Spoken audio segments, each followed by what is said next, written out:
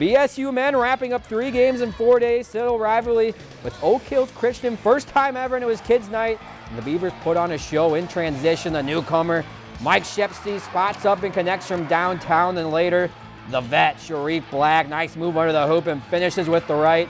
BSU rolling. And finally, we need a little dunk in the highlights. We're looking at you, Lucas Wen. We'll put that on a poster with the less and shows off the guns. Beavers win their third straight game. They put up 115 on the night, seven players in double figures. If you've enjoyed this segment of Lakeland News, please consider making a tax-deductible contribution to Lakeland Public Television.